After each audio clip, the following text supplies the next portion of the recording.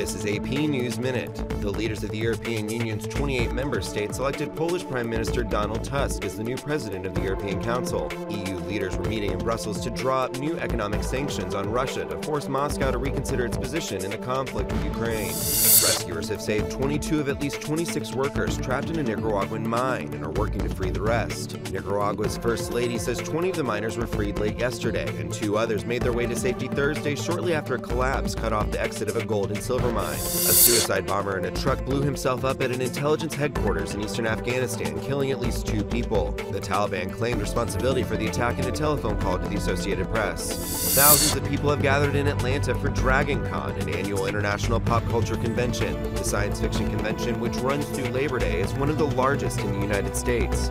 Matthew Burgoyne, The Associated Press, with AP News Minute.